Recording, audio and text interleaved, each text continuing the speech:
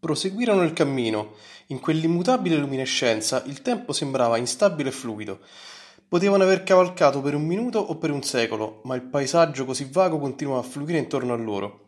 Finalmente il cigno scese a precipizio, atterrò con un tonante sventolare d'ali e divenne Eleonora.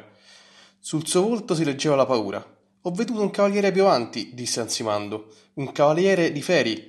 Dir non saprei cosa lui voglia. Holger Sentì che il cuore cominciava a battergli violentemente, ma riuscì a mantenersi calmo, almeno in apparenza. Lo scopriremo. Lo sconosciuto apparve sul crinale di una collina. Cavalcava un destriero alto e candido come la neve, dalla criniera fluente e dal collo orgogliosamente inarcato. Eppure c'era qualcosa che metteva a disagio nel suo aspetto. Aveva le zampe troppo lunghe, la testa troppo piccola. Il cavaliere indossava un'armatura completa e aveva la visiera abbassata che gli nascondeva completamente il volto. Sull'elmo ondeggiavano piume candide, lo scudo era bianco e nero e tutto il resto era di un lucente blu notte. Si fermò e attese che Holger gli si avvicinasse. Quando il danese gli fu accanto, il cavaliere abbassò la lancia. Fermati e dichiara il tuo nome. La voce aveva un tono risonante, metallico, disumano. Holger tirò le redini. Papillon nitrì in tono di sfida. Mi manda la strega Mamma Gerd con un messaggio per il duca Alfric. Prima mostrami il tuo stemma, esclamò la voce metallica. Nessuno può giungere qui in incognito. Holger alzò le spalle per celare la propria inquietudine. Si piegò, staccò lo scudo e l'infilò al braccio sinistro. Ughi tolse la tela che lo rivestiva. Ecco. Il cavaliere di Feri fece impennare il cavallo, spronò e partì alla carica. Difenditi! gridò Ughi e balzò giù dalla sella. Ha intenzione di ucciderti. Papillon si scostò con uno scarto fulmineo mentre Holger rimaneva ancora immobile, a bocca aperta. L'altro cavaliere gli passò accanto con un tambureggiare di zoccoli, poi si girò e ritornò di corsa, puntando la lancia in direzione della gola di Holger. Agì distinto, abbassò la lancia a sua volta, spronò Pavillon e alzò lo scudo per ripararsi. Lo stallone nero scattò in avanti. La figura dell'avversario si fece tremendamente vicina, la sua lancia si abbassò in direzione del torace di Holger. Il danese riabbassò lo scudo e piantò più saldamente i piedi nelle staffe. Si scontrarono con un clangore che scatenò mille echi da una collina all'altra. Holger sentì il proprio scudo piantarglisi contro lo stomaco. Per poco la lancia non gli sfuggì di mano quando urtò la visiera del suo avversario, ma la lancia di quest'ultimo andò in pezzi e il cavaliere di Feri vacillò sulla sella. Papillon continuò la rincorsa sullo slancio e lo sconosciuto venne sbalzato. Si rimise in piedi immediatamente ed era incredibile che ci fosse riuscito, così appesantito dall'armatura. Sfoderò la spada che saettò, sibilando. Ancora una volta non c'era tempo di pensare. Holger lasciò che il proprio corpo agisse di nuovo per istinto. Calò un colpo sul nemico appietato e le due spade si scontrarono con un suono squillante come quello di una campana. Il cavaliere di Feri sferrò un colpo contro la gamba di Holger e il danese riuscì a pararlo appena in tempo. Poi avventò la lama contro l'elmo piumato. Il metallo risuonò e l'avversario vacillò per un attimo. Colpire dall'alto era troppo difficile. Holger balzò a terra ma un piede gli si impigliò nella staffa e lui cadde riverso sul dorso. L'avversario gli piombò addosso e Holger scalciò. Ancora una volta vi fu quel clangore di bronzo e il guerriero cadde. Si rimisero in piedi contemporaneamente. La lama del cavaliere di Feri colpì lo scudo di Holger. Il danese mirò al collo, cercando di trovare una fenditura tra le piastre metalliche della corazza. L'avversario mirò invece in basso, cercando di colpirlo alle gambe che erano scarsamente protette. Holger lo schivò e l'altro gli ripiombò addosso, vorticando la spada. Lui parò il colpo a mezz'aria e l'urto gli fece tremare i muscoli. La lama del cavaliere di Feri schizzò via, ma l'uomo estrasse immediatamente un pugnale e scattò. Quella spada a lama larga non era stata creata per colpire di punta, ma Holger intravide una fenditura sopra la gorgiera del nemico e colpì. Miriadi di scintille schizzarono tutto intorno. La figura metallica ondeggiò, crollò in ginocchio, cadde sull'erba con un ultimo scroscio metallico e restò immobile. Stordito, con gli orecchi che ronzavano, Holger si guardò intorno e vide il cavallo bianco che fuggiva verso oriente. Va a riferire al duca, pensò. Poi Yugi cominciò a ballare e a gridare, mentre Alianora gli si aggrappava al braccio, singhiozzando, e gli gridava che si era battuto splendidamente. Io, pensò Holger, non sono stato io.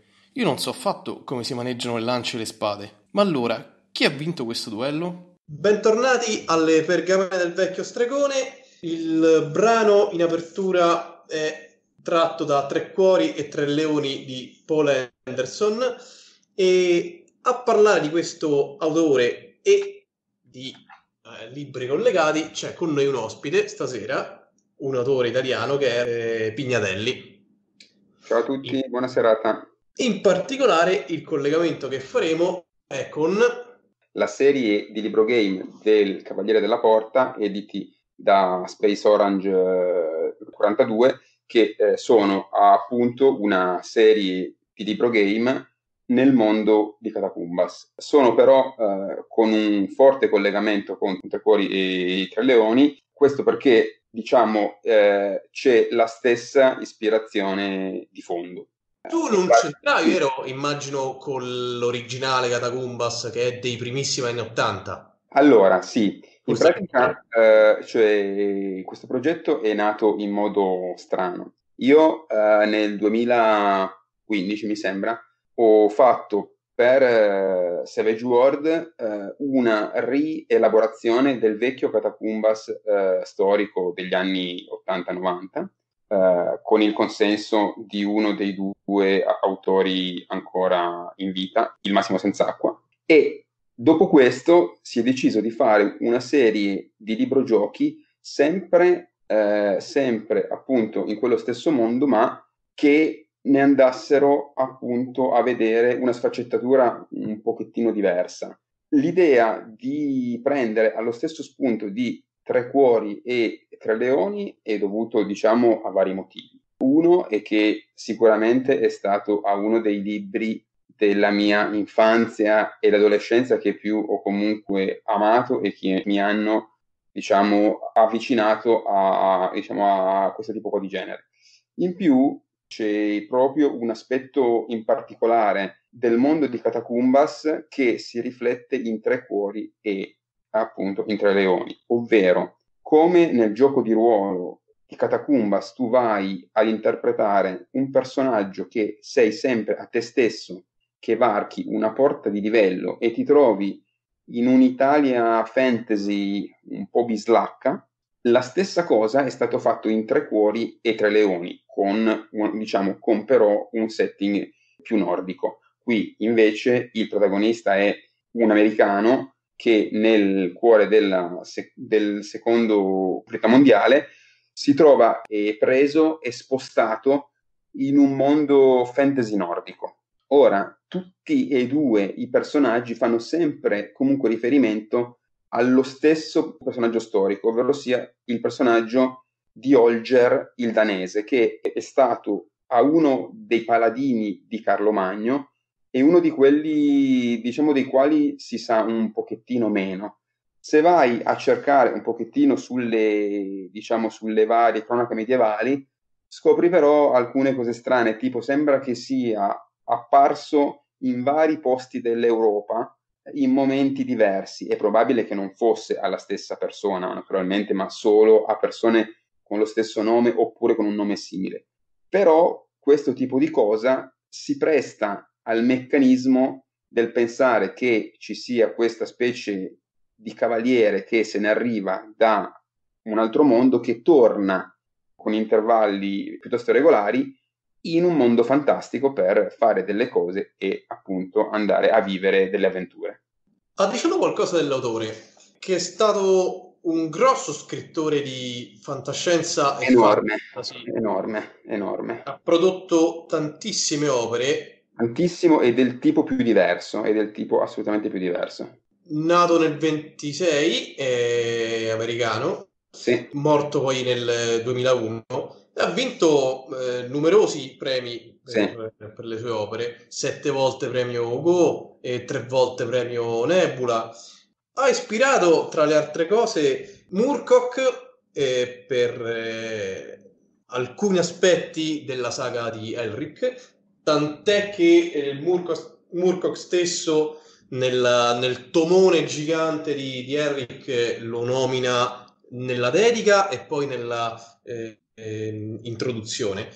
E poi compare anche, ehm, lo nomina anche Philip K. Dick, lo mette come protagonista di un racconto che si chiama La pulce d'acqua. È piuttosto bizzarro come racconto perché riguarda un po' vari scrittori di fantascienza. Insomma, citiamo tra le, i vari romanzi di fantascienza, il ciclo della pattuglia del tempo.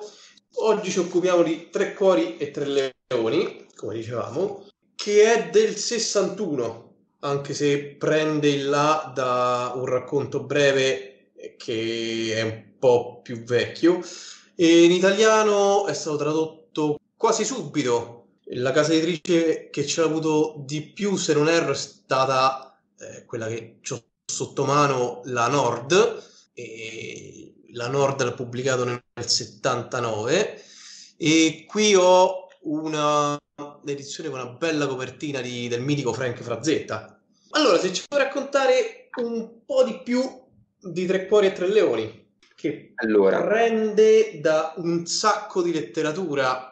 Il romanzo di Tre Cuori e di Tre Leoni si snoda per tutta un'Europa medievale che è simile ma è diversa comunque dalla nostra, in quanto è comunque un mondo che è sul limite di tanti altri mondi, ovvero sia c'è sia diciamo un mondo pseudo-reale e poi c'è una terra di mezzo in cui ci sono ad esempio le fate e c'è sempre nel mezzo la guerra tra il Sacro Romano Impero e tra i Saraceni. Il personaggio di, eh, appunto di Olger si trova al centro di un conflitto che lo porta a far pendere da una parte o dall'altra il filo comunque della vicenda.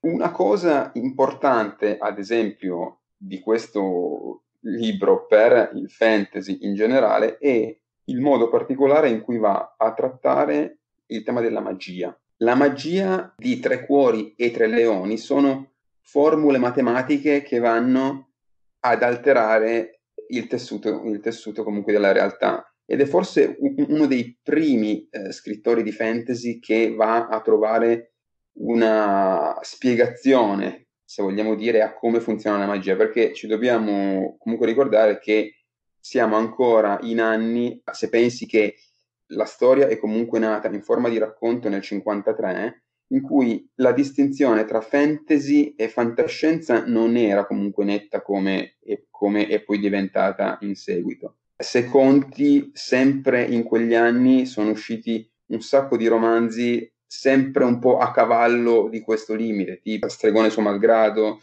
Il mago di sua maestà, e diciamo era ancora un periodo sul limitare. Sì, noi abbiamo dedicato una puntata a Fritz Leiber, in particolare alle spade di Lankmar, quindi al ciclo di Fafhrd e Grimhauser, e lì si vede che c'è una continua commistione con, eh, con la fantascienza. Sì, sì, sì, sì, sì, sì, sì, sì. effettivamente, però sicuramente su Leiber comunque ha sempre un approccio più comunque volto verso quella che poi è diventata alla fantasy in Paul Anderson invece c'è sempre questo aspetto qui scientifico, questo tema qua della scienza fa che tornare c'è sempre in tanti modi.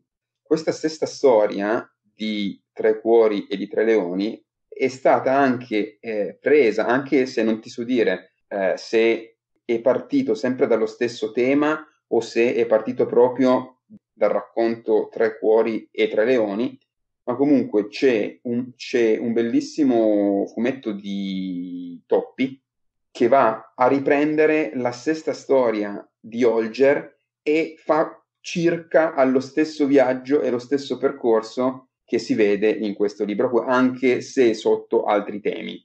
Ah, nominiamo qualche altro personaggio di Tre Cuori e Tre Leoni, perché poi eh, Holger, una volta che arriva in questo mondo, trova alcuni compagni. Quasi tutti i compagni di Holger sono comunque eh, presi da sto mondo qua appunto mitico. Tipo la fanciulla che lui ama e appunto alla principessa Eleanor è appunto una fanciulla cigno che è, è proprio uno dei tipici personaggi della fantasy nordica è appunto una donna comune che trova un abito magico fatto di piume di cigno che le permettono di assumere alla forma di appunto un cigno. Un altro personaggio chiave è il personaggio di Ugi che è invece un nano, fa un po' la guida di Olger in uh, sto mondo. la banda, diciamo, che lo circonda finisce con, con il personaggio di Karaue che è invece un saraceno che segue Ugger per una buona parte del suo viaggio, con un esito poi che appunto, che non vi dirò perché comunque la cosa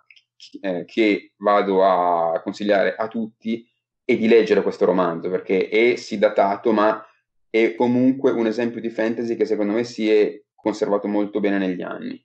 E che poi è finito come parte integrante di Dungeons and Dragons perché non sì, solo insomma, sono assolutamente tornate assolutamente tornate sì, sì, sì non solo la citazione proprio diretta di Holger e Ughi nel numero mi pare 49 di Dragon Magazine e ovviamente compaiono come tratti da tre cuori e tre leoni con tutte le loro statistiche ma poi in generale D&D ha preso più di una cosa, la Ehi. figura del paladino ad esempio, e alcune cose dell'allineamento, perché sì. ci sono delle forze che si combattono tra, tra di loro e da cui deriva alcuni allineamenti che e poi ritroviamo. Allora, il classico conflitto tra la legge e tra il caos, che poi ci saranno a scrittori successivi, tipo appunto i vari Murco, che questa gente qua, che lo struttureranno comunque di più, si trova per, prim- cioè, per una delle prime volte in questo romanzo qua. Veniamo allora a Catacumbas. Sì. Come ti è venuto di fare il collegamento? È stata una cosa affettiva o piuttosto pianificata? Tutte e due le cose, ovvero sia, io sono partito dall'idea di andare a sfruttare uno dei punti forti di Catacumbas, perché il gioco di Catacumbas non è esattamente un gioco di ruolo, è un gioco di proiezione, ovvero sia tu giochi te stesso in un altro mondo fantastico. Allora, sono voluto comunque partire da quest'idea, mi è tornato in mente a Tre Cuori e Tre Leoni, l'ho riletto nei mesi prima per tipo la quinta, sesta volta, penso, nella mia vita, sono andato a scavare eh, un pochettino nella vicenda di Oger, il danese, e ho capito che poteva essere proprio il personaggio giusto, perché io la cosa che volevo fare era la storia di comunque un lettore del nostro mondo che entra in un mondo fantastico. Questo per una serie di motivi. Allora, il principale è che soprattutto quando fai un libro gioco, devi cercare sia di far leggere la gente, ma anche di farla giocare. E ho cercato in questo modo di fare in modo che chi lo leggesse fosse con le stesse conoscenze del personaggio, cioè tu entri in questo mondo qua, appunto nel mondo appunto di Laizia, che è appunto una versione dell'Italia cambiata, ma sei già stato in questo mondo come appunto il cavaliere Ulger eh, un sacco di anni prima, ma non ti ricordi più nulla, quindi tutte le tue conoscenze sono le tue, quindi tu non sai nulla del mondo che ti circonda e lo vai a scoprire appunto nel corso del gioco. Nel corso del gioco e questo meccanismo qua mi dà comunque modo di essere sia con una storia passata del personaggio, perché tu sei già stato in questo mondo prima, sei stato un cavaliere famoso, sei però uscito perché sei appunto tornato nel tuo mondo reale, ci ritorni molti, an- cioè, molti a- anni dopo e non ti ricordi più nulla perché appunto nel passaggio tra un mondo e l'altro le conoscenze si perdono se non c'è una forte magia dietro che le supporta. Quindi si parte con lo stesso livello di conoscenza tra te personaggio e te giocatore. Poi, sempre andando a sfruttare questo mito del cavaliere che gira per l'Europa e anche nell'Italia e che cioè appare e scompare ad intervalli magari di 15-20 anni, era proprio la cosa perfetta, perché era proprio un eroe mitico che torna per, eh, diciamo, per eh, salvare la frittata. Ora, nel primo libro il cuore, diciamo, la massima ispirazione è proprio su tre cuori e tre leoni. Però poi allora, il personaggio di Ugger è cresciuto. Quando sono partito con il, il primo libro, eh, speravo di fare una serie, ma non ne ero ancora così sicuro. Eh, c'erano già tutti, diciamo, i vari collegamenti che erano, diciamo, erano già comunque pronti per un seguito, ma subito non si sapeva Nel secondo libro, e anche nel terzo, in pratica è sempre fatto su una regione dell'Italia diversa e anche con un'ispirazione di tipo letterario interamente diverso. Tipo nel secondo, la vera ispirazione del eh, secondo libro è la secchia rapita del Tassoni, ovvero okay. sia il conflitto tra la città di Modena e la città di Bologna per appunto il possesso della famosa secchia sulla quale io eh, sono andato a fare attorno una storia strana.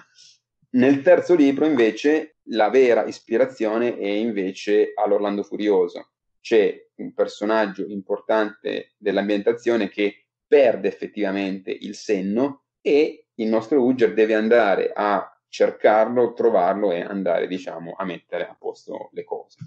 Ecco, voi la cosa che devi sempre contare è che comunque stiamo comunque parlando di un media che non è il romanzo, non è il gioco, ma è il libro gioco, cioè una cosa sempre che deve andare a cavallo delle due cose, perché deve sia essere un gioco, quindi ci deve essere un elemento ludico di regole, di meccanismi, di scelte e anche una storia piacevole.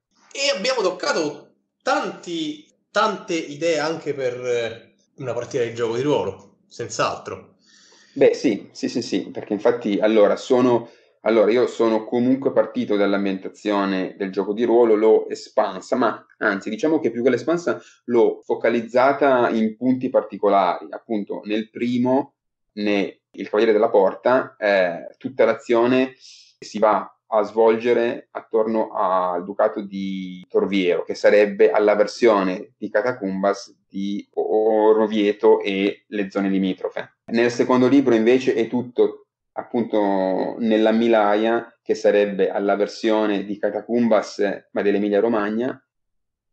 Il terzo invece è particolare perché il fuoco sarebbe, della storia sarebbe nella città di Maro, ovvero sia di Roma, in cui c'è all'imperatore di quest'Italia eh, strana, mitica, però in realtà una buona parte poi della storia va da Maro, si va a spostare nell'arcipelago di Ponzia per una serie di ragioni particolari che sono legate a particolari leggende di quell'area lì. Beh, parliamo un po' di più di questo mondo eh, di Catacumbas.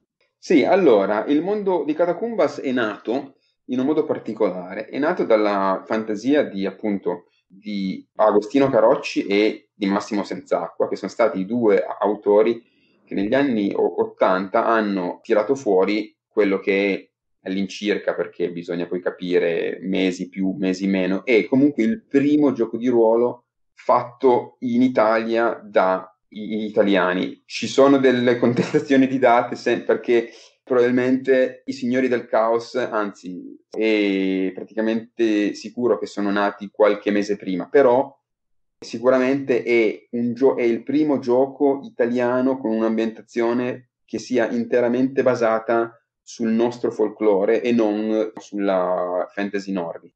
Il successo di Catacumbas è strano perché se lo vai a rileggere con gli occhi del, sia appunto del lettore di narrativa, ma anche del giocatore di ruolo del 2015 o del 2020, è particolare perché è un libro che, come si faceva in quegli anni lì, non va a darti un'ambientazione completa ed esaustiva del mondo.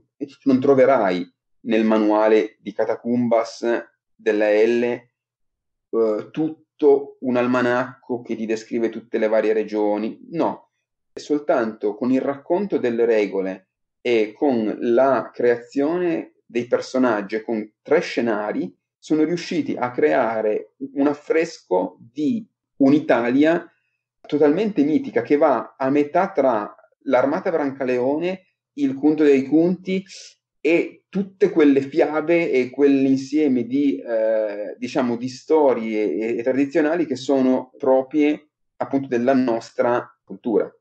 In più c'è da dire che quel, quell'edizione ebbe anche la fortuna di essere con i disegni di Cavassori, che fu un disegno, cioè che è ancora, perché c'è e voglio dire, e opera ancora, che sono sì molto simili sempre a disegni, cioè sono comunque simili allo stile di Toppi, che era comunque forse all'apice in quei momenti e si, e si sposano comunque molto bene con quel tipo di fantasy, cioè quando vedi quel tipo di arte, eh, allora fa subito che darti all'idea del Mediterraneo. Vero, sì, mi ricordo ancora la, la copertina che poi sostanzialmente... La copertina è non è di... Che è rimasta. Eh, ma non è di, di Cavassori, ma è di John O, che è appunto è l'autore che poi ha fatto tutte eh, all'iconografia eh, tutti, tutti ai concept eh, dei film del, eh, del Signore degli Anelli e anche alla copertina della prima edizione dell'Unico Anello. A parte questo pezzo qua straniero, se vogliamo, tutta l'arte invece sull'interno manuale è fatto da top, eh, scusa, non da Toppi, scusami, è fatto da Cavassori in gran parte più un altro paio di disegnatori però diciamo che i pezzi più famosi, quelli più d'impatto, sono tutti suoi di Cavassori. E eh, appunto questa esperienza qua del disegnatore particolare è stato sicuramente uno dei punti anche del nuovo Catacumba, sia nel gioco di ruolo che anche nel libro game, ovvero sia tutta l'arte di Catacumbas nuovo è fatta tutta da Francesca Berald, che è, infatti se vedi sul, allora, in tutti i libro game lei fa che apparire eh, assieme a me nel titolo per un sì, motivo che, che, ti spiegherò dopo. Però già nella riedizione del gioco di ruolo tutta l'arte del manuale, a parte alla copertina che è di John O, è sua. E questo ha dato, un, cioè, ha dato comunque un look che è comunque molto caratteristico del prodotto. Sul libro game invece la collaborazione è stata ancora più stretta in quanto i libro game di Catacumbas sono molto particolari. Allora, io ho cercato di sfruttare al massimo le potenzialità del mezzo, ovvero sia questa serie di libro game è senza dadi, si basa su soltanto un meccanismo di spese delle risorse. Tu hai un tot di punti che puoi andare a spendere per capire quando vuoi fare un successo nelle tue azioni e quando invece cerchi di fallire per capire che cosa andrà a succedere. Ora, su questo semplice meccanismo c'è inoltre tutto un meccanismo di arte, ovvero sia tutta l'arte del libro e tutta parte appunto del gioco, perché serve allora non soltanto a mostrarti l'aspetto estetico delle scene principali della storia, ma in tutti questi disegni sono sempre celati o degli indizi o dei giochi o dei trucchi che servono a far andare la storia in direzioni in più a quelle che trovi eh, soltanto nel testo. Ora, eh, questo tipo di meccanismo con il quale ho, diciamo, un po' sperimentato, abbiamo io e Francesca un po' sperimentato nel primo volume, nel secondo e nel terzo sono cresciuti ancora di più. Tipo, siamo riusciti a fare un, diciamo, un intero torneo di cavalieri nel secondo, tutto su, su appunto un meccanismo che si basa sulle immagini di questi vari cavalieri che ti corrono incontro nel corso della giostra. Allora, soprattutto sul secondo, ma anche nel terzo, eh, pezzi della storia eh, sono sia miei ma anche suoi, voglio dire, e diciamo, allora in tutta questa serie c'è comunque una commissione di lavoro molto forte tra sia lo scritto e anche il disegno, quindi eh, si è andata un po' comunque a, diciamo, a ripetere questa cosa del peso dell'arte nel, appunto, nel mondo di Catacumbas. La serie finisce al terzo o avete in programma di continuare? La serie in teoria doveva finire al terzo, in realtà abbiamo ricevuto un sacco di richieste per fare un quarto, eh, sicuramente non di quest'anno, diciamo che ci stiamo pensando, però per adesso non c'è, non c'è, non c'è, non c'è, c'è diciamo che ci stiamo, ci sto pensando eh, bisogna un po' vedere, un po' capire. Diciamo che effettivamente un quarto volume ci potrebbe ancora stare, in questo momento non ti so dire se ci sarà mai, però effettivamente un quarto volume ci potrebbe stare. In tanti me l'hanno chiesto, ci sono dei fili, diciamo, diciamo che ci sono dei fili narrativi ancora che non sono chiusi. Eh, diciamo che per il momento non c'è, però forse ci potrebbe essere, diciamo così. Un'altra citazione penso che da, da fare, lo stile narrativo e il personaggio ricordano una più vecchia serie di libri game, certo. che era quella di Alla corte di Artù. Esattamente, sì sì. Allora, io ho preso a modello quella serie perché secondo me tra tutte le serie che sono mai state fatte di libro game sono quelle eh, più belli dal punto di vista proprio della narrazione perché sono libri che ti diverti a leggere, sono fatti con uno stile che comunque è molto scanzonato. E poi, a differenza di altri libri dove il testo va soltanto a farti una fotografia del mondo, in questi libri so, sono, eh, sono proprio a libri che ti parlano, cioè c'è proprio alla voce di, di uno dei personaggi appunto della storia, nel caso di alla corte di Re Artù c'è appunto il mago Merlino che ti racconta la storia che tu leggi e io ho ripreso più o meno allo stesso metodo anche in questa serie di libro game. Secondo me è molto importante in questo tipo di narrativa fare in modo che ci sia sempre un dialogo continuo tra chi ti, te lettore e il testo, perché non deve essere eh, soltanto una telecamera di un videogioco. No, il bello di questo tipo di media è che tu puoi avere e che tu puoi essere con un contatto più stretto tra il lettore e, e tra appunto, a, a, appunto a, allo scrittore. Io ora ho fatto il primo volume sempre con Francesca di anche un'altra serie di librogiochi che, che per ora è solo uscito in inglese che si chiama Survivor of Arborea, che si va invece ad ispirare ad un altro autore del passato molto famoso che è invece a Jack Vance. Ma comunque anche qua c'è sempre allo stesso meccanismo dove c'è il protagonista che non c'entra nulla con Ogger, è proprio un'altra cosa, che ha però tramite un escamotaggio narrativo c'è sempre una eh, diciamo c'è sempre un compagno invisibile con lui col quale fa, diciamo, che, che essere sempre con un dialogo. E quindi la storia è molto, è molto più ritmata da leggere eh, molto più, secondo me, ti prende di più.